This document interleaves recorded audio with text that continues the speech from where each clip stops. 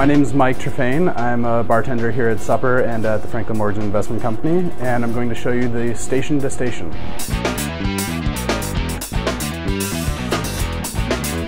So we start off with one ounce of Pimm's, one ounce of Laird's uh, bottled in bond apple brandy,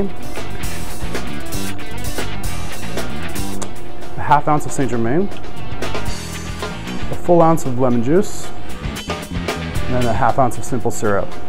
Finish it off, we do four healthy dashes of Peychaud's bitters.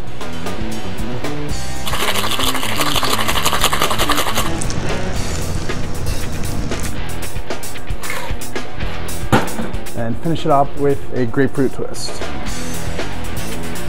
That's the station to station.